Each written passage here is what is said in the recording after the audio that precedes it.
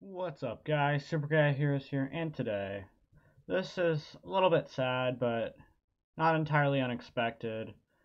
You guys probably knew at some point this would happen, but I think soon I'm going to be quitting SPTS, because I have no video ideas for this. I haven't even grinded on it in the past like four days because of Sorcerer Fighting Simulator.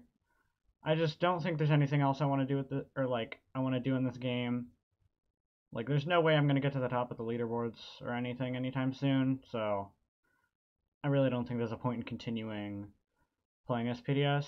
But let me know in the comments what you guys think about this.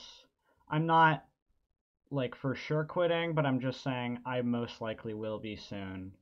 So, thank you all for watching, and I'll see you on the next video.